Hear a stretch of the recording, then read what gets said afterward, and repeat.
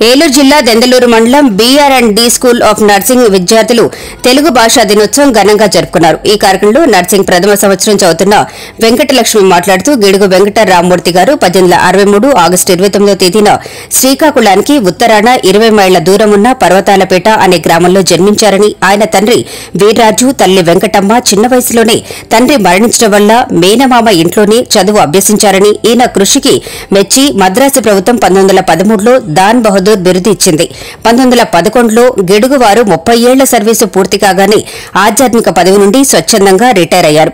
గిడుగు రచయితగా చరిత్రకారుడుగా సంఘ సంస్కర్తగా భాషా ఉద్యమకారుడుగా పేరు పొందారు.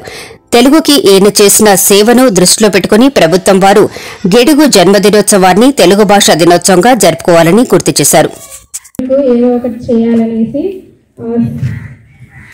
ప్రత్యేకమైన విధిని ఏర్పాటు చేశారు. ఈయన సౌర భాషను రూపొందించాలనేసి సౌర భాష సహోపాధ్యాయుల్ని ఆ ఇంట ఉంచుకొని సౌర భాష నేర్చుకున్నారు. సౌర భాషను నేర్చుకొని పుస్తకాలు రాసి ఆ డబ్బుతోనే కళ పాఠశాలలు నిర్మించి ఉపాధ్యాయులకి జీతాలు చెల్లించారు. ఆ భాషలోనే ఆ గిరిజనులకి బా చదువుని ఏర్పాటు చేశారు. అయితే ఈయన కృషికి మెచ్చి మద్రాసులో మద్రాసు ప్రభుత్వం వారు పంతొమ్మిది వందల పదమూడులో రావ్ బహదూర్ బిరుదుని ఇచ్చారు.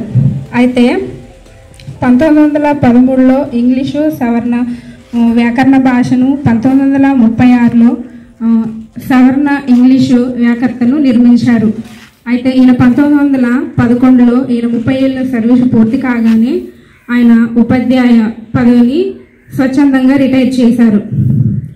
అయితే ఈయనకి ఇంతకు ముందే ఆంధ్ర భా ఆంధ్ర భాష మీద మక్కువ ఉండేది. అలానే ఈయన సవర్ణ భాషగా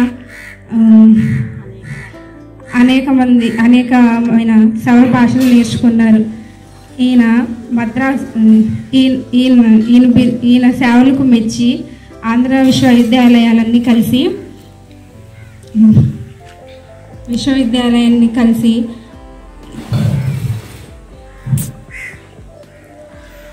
కళా ప్రపూర్ణ అనే బిరుదునిచ్చారు. ఈయన పంతొమ్మిది ఈయన పంతొమ్మిది వందల అరవై మూడులో జనవరి ఇరవై తొమ్మిదిన మరణించారు. ఈ అవకాశం ఇచ్చిన మేడం గారికి థ్యాంక్ యూ